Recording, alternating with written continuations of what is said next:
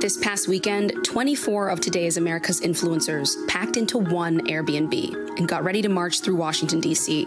Though they only formed in April, their followings are growing rapidly, and the goal is to have the kind of influence through TikTok that Students for Trump or Turning Point USA have had for years on Twitter and Instagram. What's up, everyone? So, super important event I want everyone to know about. They've been invited to co sponsor this weekend's event with Freedom Tour USA, a self described grassroots patriotic movement. Liam Rafizadeh is one of the founders. He's only 20 years old.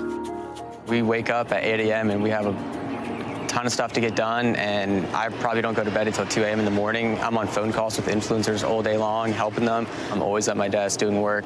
How were you able to fund this whole weekend? From the apparel, from what we sell. We sell all types of patriotic apparel. We sell Trump stuff. We sell Today's America branded stuff, and that's how we get the funding to do things like this. What's a? Holy! What was that? Dude. Is that a speed bump? That's big ass speed bump right in front of These are big speed bumps. Around 11 a.m. on Saturday, Today is America's members carpooled over to the Washington Monument to prepare for the march. One more time. One more time. Take three. They wasted no time in making TikToks. Okay, that was cute. Yeah. Okay, so get make a single file line.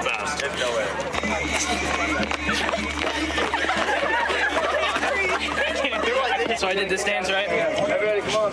Right, and then like I commented, like, where should we go next? Someone to the White House. We have to stand outside. You want to go to the White House to do it?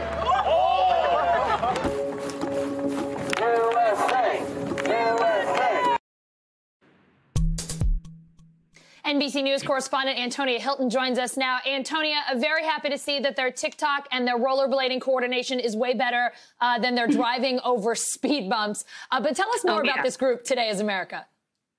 So Today is America is fully a company. It start, started in April, but it's now an LLC, chairman, president, and about 150 plus influencers who across their multiple accounts are able to reach millions and millions of young people on TikTok. And their goal is to spread conservative values, beliefs, and in these next couple days to push for the reelection of President Trump. Uh, but really, I think the long game here is that they want to become part of the broader conservative media ecosystem.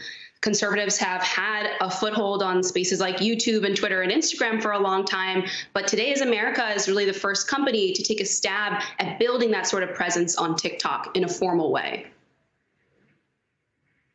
So they seem very organized. They've got merchandise. Uh, you say, you know, they're they're a company here, but do we have any sense of just how effective they have been in encouraging Gen Z voters to support Trump? So we don't yet know about there being a massive TikTok effect on this upcoming election, uh, but there are now numerous researchers who are studying the fast growth of political discussion on TikTok. And I actually spent time speaking with Kevin Munger, who is a professor and researcher at Penn State, who spends his time actually combing through and downloading thousands and thousands of these videos to study it. And what you find when you talk to these creators one on one is they'll tell you I'm not really sure. I mean, many of them are between the ages of like 15 and 20, so they're not really sure what's about to happen with this election. But they'll tell you that they are getting in active debates with other young people on the app every day, that their DMs are flooded with young people asking them questions about their stance on abortion, interested in their perspective on trade, and that they're having those conversations day to day. And they personally believe that some of those conversations are going to lead to some of these young people coming out and voting. But they don't really know yet. And all of this remains to be studied because this growth has happened over the last couple months so, so quickly. It's really impressive to see young people so politically engaged. Antonia, thank you so much. Thank you. From the slam dunks to the seemingly impossible, the NBA knows how to put on a show, now focusing all that talent to get out the vote. With 20 stadiums and arenas across the country turned polling places, some of the most accessible sites aimed at pushing turnout in minority communities. Including the Staples Center, where the NBA champions play, and superstar LeBron James. To know that Staples Center is going to be a polling uh, site for uh, for voting is, is unbelievable, and it's something that, that we need. trying to get um, you know, all 30 uh, franchises and, and all 30 NBA arenas to open up. Also in LA, the Forum, once the venue of choice for music greats, soon to be home to the Clippers. The team inspired to transform it into one of the city's largest voting sites. The Clippers and the Forum say they're all about creating a great voting experience, from the voting lines to the parking, even providing hand sanitizer. The county's responsible for the actual voting, 126 machines in this arena. But it's in battleground states where basketball could have the biggest impact. Join us as we swarm the polls. Like North Carolina, where the Hornets Arena, the Spectrum Center's now open for early voting. It was nice, it was quick, it was fast, it was efficient. I felt safe because they kept us apart from each other. A hive of activity backed by owners Michael Jordan and Fred Whitfield. This could make a real impact there in North Carolina. Well, we hope it will. We're Charlotte's team, we're a community team, we're a community asset. We feel like we have an obligation to reach out throughout every community of Charlotte, do everything we can to make this an easy process for everyone. For Whitfield, this is deeply personal. He was at the Spectrum Center with his 89 year old mother to vote. He says Janelle Whitfield wasn't able to vote until the Voting Rights Act of 1965. She was 34 and hasn't missed a vote since. My mom is 89 years old, and so she's not had the right to vote uh, throughout her whole, whole entire life. And so uh, she's very proud of the fact that when she was allowed to vote and given the right to vote as, as an African American woman, that she's not missed one election cycle to cast her vote. And, uh, and I'd encourage everyone of, of every race to, to certainly get out, exercise that essential right, and, and have their voice be heard. The movement brokered in a historic deal led by the biggest names in basketball after teams walked off the court in protest of the Wisconsin police shooting of Jacob Blake. In Arizona, where minority voters could help swing the state, Phoenix Suns player Cameron Johnson says the push is his response to decades of social injustice. You hear a lot, or in the past, you've heard a lot of, you know, the shut up and dribble, stay in your lane.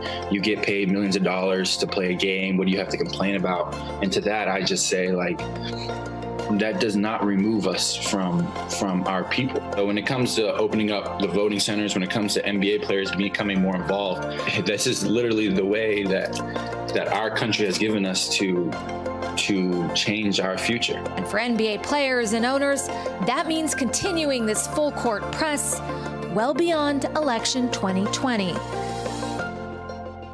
Dueling rallies in West Michigan this weekend, and both sides were heavily armed. A conservative group, the American Patriot Council, supporting President Trump with a freedom march. Justice for Black Lives staging a counter protest. Both groups said they feared for their safety. Both groups blamed the other for stirring divisiveness. Both groups brought guns. NBC News Now correspondent Dasha Burns was there. We are once again divided at election time. And I think this could be one of the worst elections in the last hundred years. This is about freedom, and uh, that's that's what this is about. This is simply about freedom for all. That's a, a Trump rally. It's not patriots. Those people are supporting Donald Trump. It has nothing to do with patriotism. For a long time, there was quite a few people who did not want to stand up. They were afraid of what the BLM, the Antifa, and the people who are not what Trump would do. Every event that these people have shown at during this summer, they've brought arms, so they weren't there to engage or talk, and they uh, racially intimidated us in June and July. And uh, today we caught wind of their event, and we decided that it was our time to exercise our Second Amendment right and to make sure that we have a safe space for our people. Um, I'm wearing my body armor today because I've had threats on my life, so um, I just don't feel comfortable coming out to gatherings like this unprotected.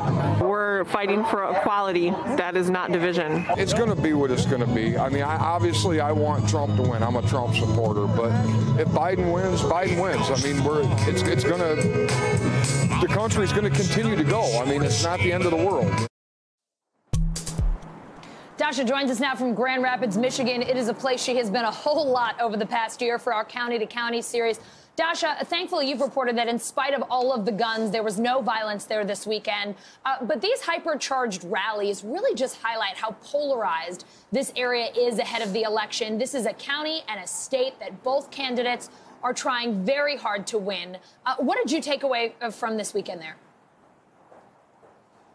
Hey, Allison, that's right. Thankfully, no violence. Uh, this scene that you just saw unfold happened in Allendale. It's just uh, next door, about a 20 minute drive from Grand Rapids. And just to paint how surreal the scene was in between these two dueling rallies uh, with, with armed individuals on both sides, there was a family at the park playing pickleball. So Michigan just has a, a whole lot going on right now. And I think uh, what we saw over the weekend was uh, how the, the deep division is really really manifesting on the ground here in this area that is so politically important and where tensions and stakes are incredibly high. Look, both of these groups were uh, ideological opposites. On, on one side, you had uh, a lot of Trump support. You had some militia members. On the other side, you had racial justice activists who brought security in the form of an anti-fascist organization that came with their own uh, rifles as well. And both sides uh, told me that they were nervous about what, what might happen. They were concerned for their safety. There was also a sentiment of, of feeling silenced uh, in, in both groups that we talked to, individuals who wanted to stand up against that and said that they brought weapons so that they could safely do so, could safely uh, exercise their rights. Allison? Dasha, what else are voters there concerned about on the right and on the left as we head into this last week before the election? What issues are they talking to you about? Uh, of course, Election Day was not far from anyone's mind, and, and, it was interesting. Both concerned about Election Day. On the right, there was more concern about protecting the vote on the left more concern about protecting the voter. So at the American Patriots Council rally, there were folks uh, looking to recruit poll watchers and challengers. Uh, at the Justice for Black Lives rally, people were signing up volunteers to be uh, poll buddies, to take volunteers, uh, to take voters to the polls who were nervous about intimidation, to have someone there with them. I want you to take a listen to what we heard uh, from each uh, from each group. Allison, watch.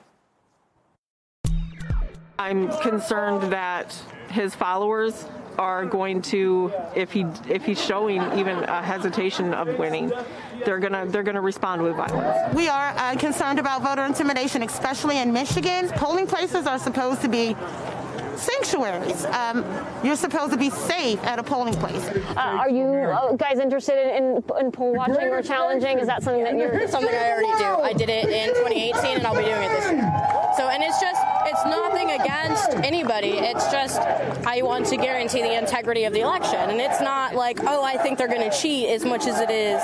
I just want to make sure that every vote is counted. And Allison, Michigan, of course, is an open carry state, but recently state officials banned open carry at the polls. However, there have been lawsuits challenging that order, and there are sheriffs in the state who say that they will not enforce that ban. Allison? Dasha, uh, impressed to see that in spite of the tensions, in spite of the concerns, in spite of the weapons this weekend, people managed to express themselves uh, and it didn't get violent and it didn't get nasty. Uh, it, gives a, it gives us some hope here that maybe we can get past some of this divisiveness. Dasha in Grand Rapids, thank you.